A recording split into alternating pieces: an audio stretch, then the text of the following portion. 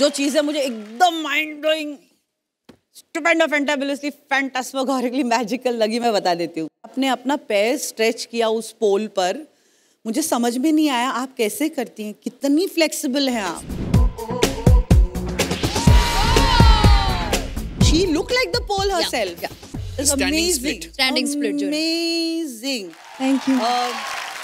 this was an almost perfect act thank you I just have piece of advice for कभी कभी आप भागती हैं मतलब वन टू कभी कभी ना थ्री फोर छूट जाता है। वो मत कीजिए otherwise I want a perfect act from you Roja I love your chemistry I love the तालमेल। Thank you well done thank you for more update subscribe to our channel click the show links and enjoy watching the videos